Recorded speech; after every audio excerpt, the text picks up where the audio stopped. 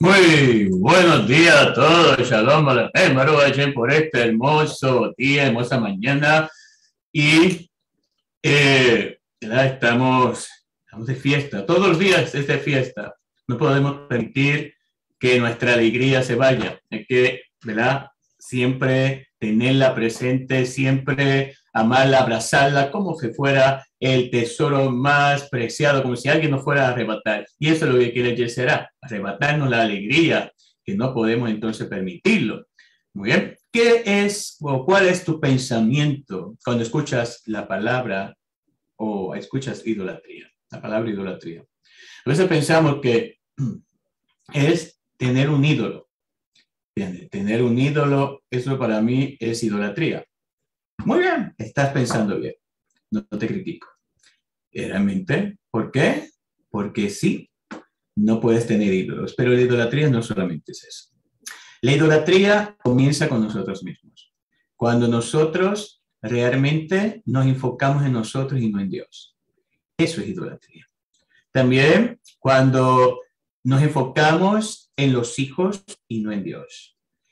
Ejemplo, cuando Akadosh Baruj le ordenó a Abraham Avenu, le dijo a Belán, nuestro patriarca, le ordenó elevar a, a, Isaac. Muchos pues interpretan esta, esta acción como de, sacrificio, ¿no? Él no ordenó, Dios no ordenó en ningún momento sacrificar a Isaac, sino elevarlo. ¿Eh? Ahora bien, ¿por qué Dios hizo eso? Esa fue la última prueba, a ver si había algo que interpusiera, se interpusiera entre Dios y la persona. lo que significa es que si Akadosh Baruj me ordena hacer algo, yo tengo que hacerlo. Porque si no lo hago, entonces estoy adorando, estoy amando más aquello que Dios me ordena hacerlo. Por ejemplo, me dice que eh, para los corderos, voy a poner un ejemplo, para cuando se hacía los sacrificios en el Bejamidash, los corderos se utilizaba el más que se amaba. ¿Por qué el más que se amaba? Porque si tú no sacrificabas el animal que más amaba, entonces tu amor no estaba hacia Dios por completo, sino estaba más a algo, ¿verdad? algo físico, algo de este, ¿verdad? de este mundo. Y por eso es que se utilizaba el cordero que más amabas, para declarar que no hay nada que se interponga entre tú y Dios. El amor tuyo es especial y solamente especial a cada uno y solamente adorarás a él. Claro que amamos a nuestros, ¿verdad? A un cordero, amamos animales, amamos a la familia, pero no puede haber un, amor tan fuerte como el que debemos que tener hacia cada uno. ¿Ok? Eso siempre es primero. Si alguien me dice a mí, haz esto, ¿verdad? No lo hagas, porque si a cada uno no le agrada, entonces tu amor hacia Dios no puede fraquear, no puede basarse en otras cosas, solamente a cada grupo. Otro punto de idolatría. Cuando una persona obtiene éxito y dice, obtuve éxito y se enorgullece. No, eso es una forma de idolatría también. ¿okay? Yo le doy gracias porque este, esto, este, este logro lo debo a ti, a cada grupo. Y solamente a ti. Yo no hice nada porque tú eres el que elevas y el que desciende, hace descender, ¿verdad? El que eleva a la persona y la hace descender. Entonces ahí ya no hay idolatría. Pero cuando la persona dice, yo logré este, este, este, este logro y se olvida de Dios y se enorgullece, ¿eh? entonces también idolatría. Cuando amamos tanto nuestro hogar, ejemplo, no voy a, a, a, al Betanese al ese voy a la sinagoga. ¿Por qué? me, gusta más estar en mi hogar. Eso es una forma de idolatría también. Porque estás más amando algo que es material y no a Dios. Eh, otra forma de idolatría es el orgullo. Cuando me, estoy buscando una ropa para agradar a otros, no agradar a Dios. Claro que debemos vestir bien porque somos hijos de Dios, somos príncipes.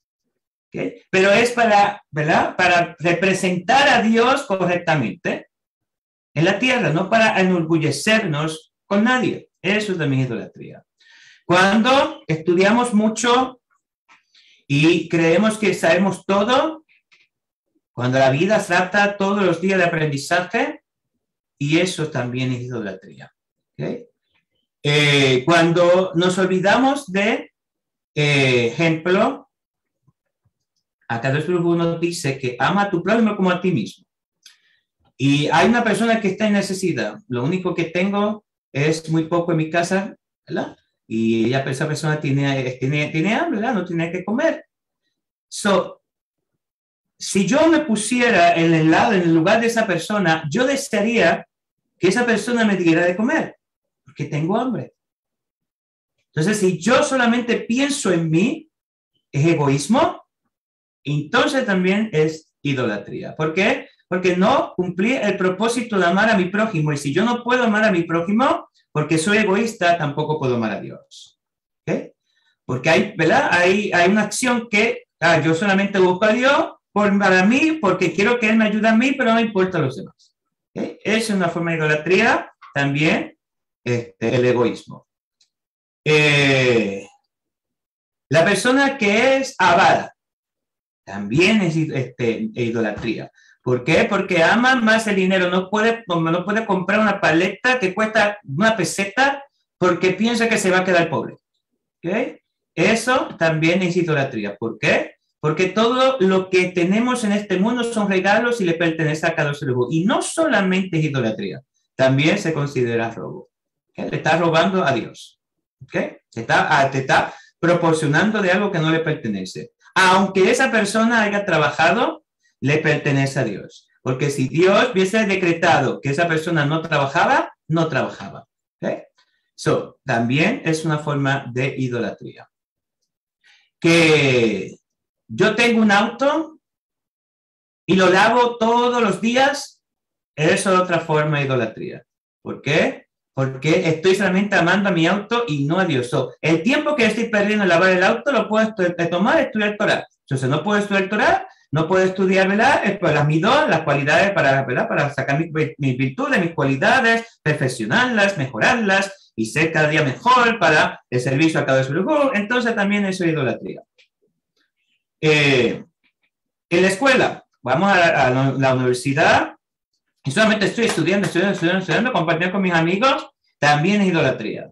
Todo lo que se basa fuera que utilicemos para no a que haya algo, una, una, muralla en el medio de entre yo y Hashem, o Hashem y yo, es idolatría.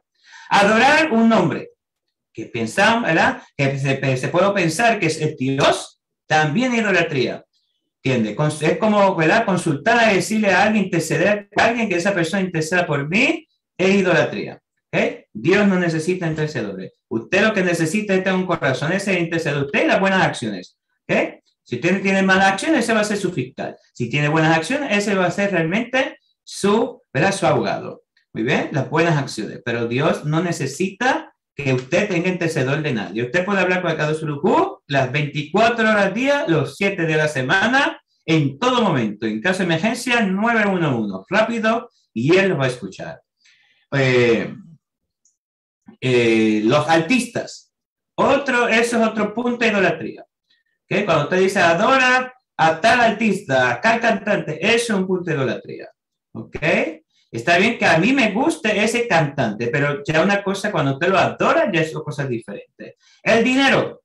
Cuando usted adora, también es bueno tener dinero para así, ¿verdad? Este, no sentirnos, eh, este, no sentirnos, ¿verdad? No tener eh, problemas en la pareja, en la relación de matrimonio, tiene, poder ayudar a mis hijos, poder, ¿verdad? Tener dinero para una necesidad que necesite otro, para poder este, ayudar a otro también y para poder, ¿verdad? Sustentarme. Inclusive si, perdón, si tengo un negocio para poder ayudar a otros a tener, ¿verdad? Un trabajo como empleado para darle panacea a otra persona, eso no es idolatría. Pero cuando lo utilizamos para mí y para egoísmo y, y, solamente yo y no le doy a nadie y no me importa a los demás, entonces eso es idolatría. ¿Ok? Todo lo que es idolatría es cuando hacemos algo en exceso que no es para servir a Dios, sino para nuestro propio beneficio. Eso es idolatría. También es idolatría las novelas. porque Y no solamente las novelas son idolatría, también es la shonara. Es hablar, aprender a, hablar mal de los demás chisme. ¿Cuántas personas se sientan en una sillita están así moviéndose las abuelitas y las mujeres moviéndose así, en la sillita, mirando la novela? Lo que está aprendiendo son cosas malas. Debe de estar estudiando Torah. ¿Eh? ¿Por qué? Porque ahí lo que hablan son chismes y lo que hablan es mal del otro. Usted eh, sale un chisme y cuando viene a ver le acusan a otra persona y todo, usted lo que está aprendiendo son cosas negativas, cosas que le están haciendo daño. Esa es idolatría. Porque usted está perdiendo el tiempo, utilizando el tiempo que Dios le dio, le concedió un día más de vida para que lo sepa aprovechar, para que usted le riegue sus raíces y realmente eche frutos en su vida y tenga realmente, entiende, eh, se, se demuestre, aprenda que realmente es un hijo de Dios entonces, eso es idolatría porque está robando y además está robando el tiempo a cada uno. Porque Dios no nos da un día más para que usted esté sentado con los abuelitos y viendo novela. Viendo, escuchando periódico, está bien que a veces uno quiere escuchar la noticia, ¿ok? Pero cuando tú comienzas a ver la noticia y empiezas a criticar que tú no sabes realmente lo que está pasando ahí y empiezas a decir a aquella persona es así, así, así, así, por lo que dice la noticia, no solamente es acusar a una persona de falso, también idolatría. ¿Por qué? Porque usted está interponiendo su cambio, ¿verdad? Está, eh, usted está eh, adorando el hablar mal de los demás. Es una forma de idolatría. a veces pensamos que la idolatría solamente es tener ídolos. No. Hay muchas formas que podemos ver que es idolatría. ¿Ok? Uno de, este, está bien que uno se, uno se, ¿verdad? se arregle, se, se prepare, pero una persona que se mira tanto en el espejo se está adorando a sí mismo. Qué bueno me veo, qué entiende, qué hermoso, qué hermosa me veo. Eso es idolatría. ¿Ok? Y todos esos rasgos negativos hay que echarlos, desecharlos y echarlos al zafacón. ¿Muy bien? Que tengan mucha tarde, el vuestro día disculpe, shalom alejem. Nos veremos pronto en el próximo video. Hasta entonces.